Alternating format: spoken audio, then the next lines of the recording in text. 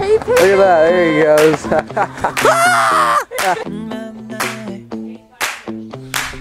Oh no, see you walking around like it's a funeral. Not so serious, girl, why those feet cold? We just getting started, don't you tiptoe, tiptoe. Ah, waste time with the masterpiece, to waste time with the masterpiece. Right, what'd you win? What did I win? Oh, you won the race. What'd you win?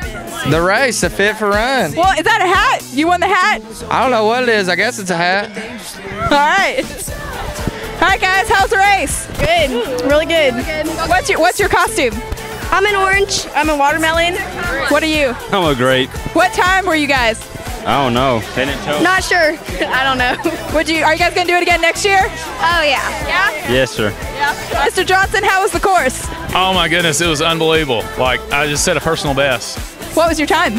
Time was um, I tried to break four, but I got uh, 401. So anyway, I was pleased. Did Miss Johnson give you any prizes?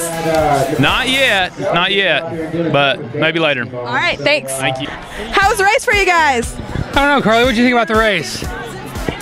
Is it good? I love you guys' costume. Yeah, we had fun. Like I told her earlier, she's the only person in the world that can get me to wear a tutu. Yeah.